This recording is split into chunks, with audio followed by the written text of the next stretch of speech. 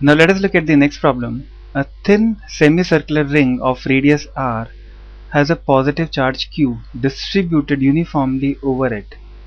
The net field E at the center O is. We have to find out electric field E here and charge q is uniformly spread across the length of the semicircular ring.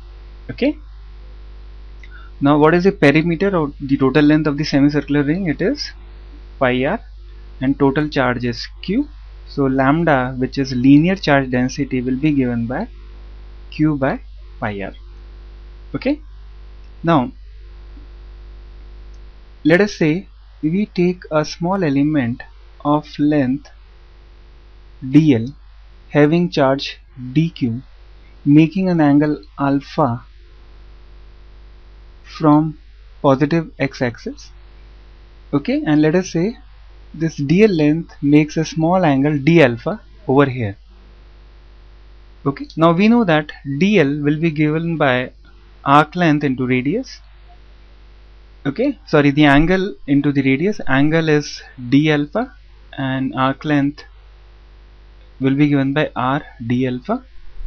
Now charge dq will be equal to lambda dl or we can write it as q upon pi r into dl which is r d alpha which can be further written into as q by pi into d alpha.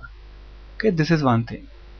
Now second if you take an element which is mirror to the y-axis making same angle alpha having same charge dq having length dl then the electric field due to this charge dq and this charge dq will be somewhere like this below the x-axis. Okay and this DE and this DE would be same.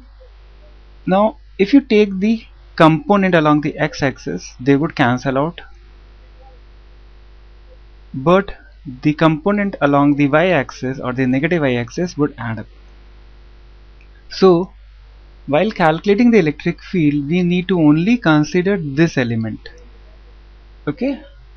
The component of the electric field in the y direction. If this is alpha this will also be alpha. And if this is alpha then this will become dE sine alpha. Now we need to only integrate this electric field with proper limits. The total electric field at the center will be addition of all the electric field along the y direction.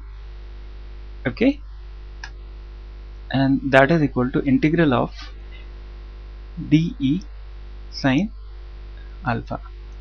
Now what is dE?